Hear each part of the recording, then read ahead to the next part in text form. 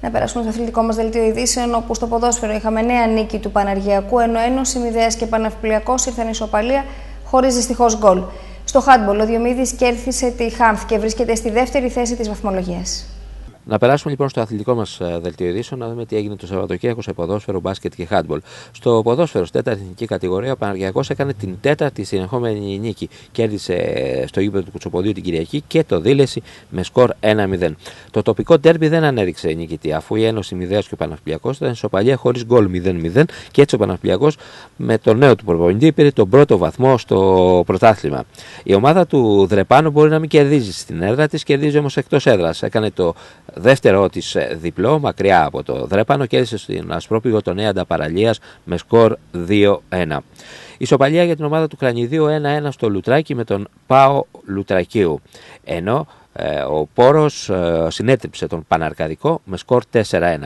Σε άλλα παιχνίδια, Χαλκίδα Αστέρας Μαγούλας 1-4, Θήβα Λουκίσια 1-0, Βρασιές Κιάτο 3-2. Η Θήβα είναι μόνη στην πρώτη θέση βαθμολογίας με 16 βαθμούς. Ακολουθεί ο Αχστέρα Μαγούλας με 15. Στους 13 η Ένωση Μηδέας και ο Παναργιακό. 11 βαθμούς το Κρανίδι. Από 9 βαθμούς ο Πόρος και το Λουτράκι. 8 βαθμούς ε, τα Λουκίσια. 7 οι Βρασιέ. 6 το Δρέπανο και η Χαλκίδα. 5 το Κιάτο. 4 ε, το Δήλεση και οι Ερυθρές. 3 ο Παναρκαδικός. Και έναν, ε, από ένα βαθμό ο Παναυπλιακός και ο Έαντας Ασπροπύργου. Έαντας Παραλίας Ασπροπύργου. Στο handball τώρα η ομάδα του Διομήδη επανήλθε στις νίκες, κάνοντας ένα καλό δεύτερο ημίχρονο. Κέρδισε το Σάββατο στο Άργο στη Χάμφ με 35-28, έχοντας κορυφαίο παίκτη το Ζαραβίνα που σημείωσε 13 γκολ. Η πέμπτη αγωνιστική ήταν αγωνιστική που είχαμε πολλές ε, εκπλήξεις. Συγκεκριμένα, ο Πάοκ έχασε στην Αθήνα, στη Νέα Φιλαδέλφια από τον Ιωνικό Νέας Φιλαδέλφιας με 31 27. Μάλιστα ήταν η πρώτη νίκη του Ιωνικού στο φετινό πρωτάθλημα. Και η ομάδα του Δούκα έχασε μέσα στην έδρα της από τον Κίδωνα Χανίων με 28-27. Σε άλλα παιχνίδια αεροπό έδωσε Φίλιππος Βέρεια 26-29. Έτσι ο Φίλιππος έμεινε η ομάδα της Βέρεια μόνη πρώτη στη βαθμολογία. Βρυλίσια Πανελίνος 35-27 και ΑΕΚ ε, Ζαφυράκης Νάουσα 34-26.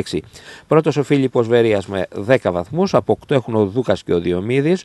6 ο Κίδωνας Χανίων η ΑΕΚ και ο ΠΑΟΚ, 4 στα Βρυλίσια, ο Ζαφυράκης και ο Αεροπό Έδεσα, 2 βαθμούς ο Ιωνικός Νέας Φιλαδέλφιας και ο Πανελίνιο και κανένα βαθμό δεν έχει η ομάδα της Θεσσαλονίκης η Χάρθ. Το, η Κυριακή ξεκίνησε και το πρωτάθλημα της τρίτης εθνικής κατηγορίας στο μπάσκετ. Η ομάδα του Λεωνιδίου μπήκε με το δεξί στο πρωτάθλημα και έδωσε στην Καλαμάτα 80-82-66.